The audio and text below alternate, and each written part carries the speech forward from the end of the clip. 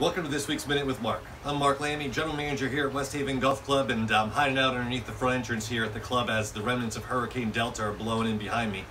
Looks like we're going to be a bit of a washout this weekend, but then next week for the Heritage member guest, it looks awesome.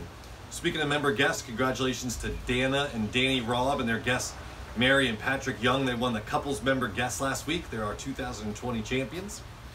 Now we are closed tonight for a wedding, so the whole clubhouse and downstairs are closed for the wedding.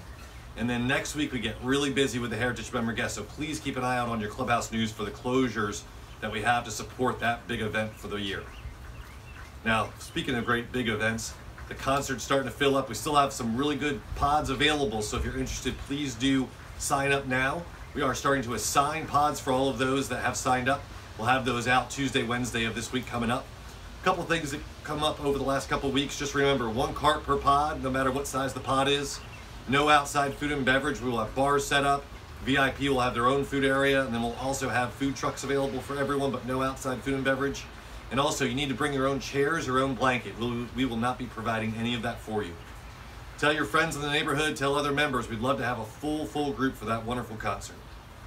Hope you stay dry. Look forward to seeing you soon.